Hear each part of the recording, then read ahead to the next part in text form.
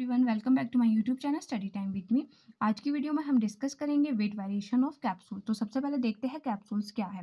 Capsule are solid doses form in which the drug substance is enclose in a water soluble shell और an envelope जो capsules रहते हैं, वो solid doses form रहती है, जिसमें कि जो ड्रग सब्सटेंस है, उसे एनक्लोज किया जाता है वाटर सॉल्यूबल शेल या फिर एनवलप में।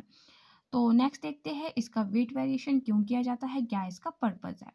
Weight variation of capsule ensure that proper amount of drug distributed in each capsule okay okay? जो वेट वेरिएशन प्रोसीजर है वो एंश्योर करता है ड्रग के प्रॉपर डिस्ट्रीब्यूशन को इन ईच कैप्सूल ओके तो नेक्स्ट देखते हैं किस तरह से इसका प्रोसीजर रहता है। तो देखिए, सबसे पहले हम क्या करेंगे, इसमें भी हम टैबलेट की तरह ही ट्वेंटी कैप्सूल्स का वेट लेंगे, ओके। जब ट्वेंटी कैप्सूल्स का जो आप टोटल वेट लोगे, उसके बाद आप इंडिविजुअली वे करोगे ट्वेंटी कैप्सूल्स को और उसका जो इंडिविजुअल वेट है फाइंड आउट करोगे और उसके बाद आप कैलकुलेट करोगे उसके एवरेज वेट को ठीक है? जब आप ट्वेंटी कैप्सूल का वेट ले लिया, ट्वेंटी कैप्सूल का वेट लेने के बाद जो आपके पास ट्वेंटी कैप्सूल का टोटल वेट आता है, उसको डिवाइड बाई ट्वेंटी करके आपका जो है एवरेज वेट आप फाइंड आउट करोगे।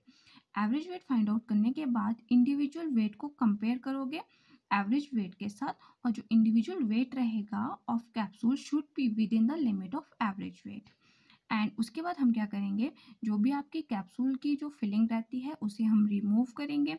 Remove the net content of each capsule, okay?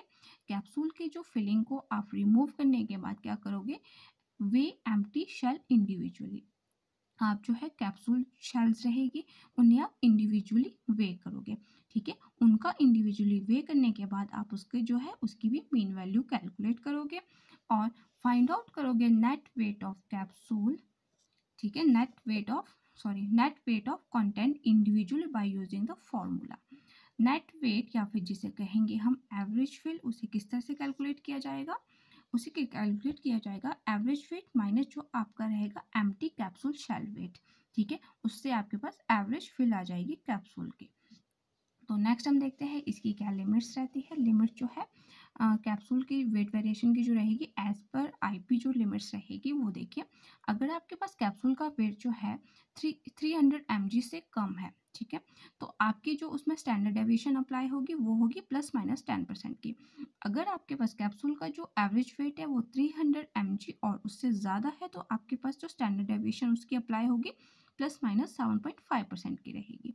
Okay? तो ये थी मेरी आज की वीडियो। आई होप आपको ये वीडियो अच्छी लगी हो। अच्छी लगी हो तो प्लीज़ मेरे चैनल को सब्सक्राइब कीजिएगा लाइक कीजिएगा, हो सके तो शेयर कीजिएगा। Thank you